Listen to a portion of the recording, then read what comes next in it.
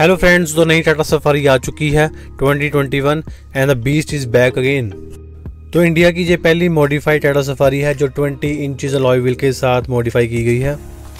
तो ये white Tata safari तैयार की गई है वेलोसिटी टायर्स लुधियाना में एंड गाड़ी की लुक देखिए कितनी ज़बरदस्त आ रही है। कंपनी की तरफ़ से 16 इंच सत्रह इंची के टायर आते हैं। तो बेस वेरिएंट में 16 इंच का टायर आता है। दो सौ पैंतीस, सत्तर आर सोलह का टायर आता है बेस मॉडल में एंड दो सौ पैंतीस, सिक्सटी फाइव आती है प्रोफ़ाइल एंड सत्रह इंच का लॉयविल आता है उसके ऊपर वाले मॉडल में। तो इस गाड़ी की बात करें तो ट्वेंटी इंच के लॉयविल इंस्टॉल किए गए हैं।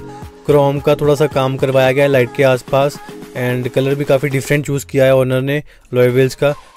इतने बड़े टायर लगवाने के बाद गाड़ी की जो लुक है काफ़ी अच्छी एंड उभर कर आ रही है। गाड़ी काफ़ी मासिव लग रही है। तो होप करता हूँ वीडियो आई होगी पसंद एंड चैनल को कीजिए सब्सक्राइब एंड वीडियो कीजिए like thank you very much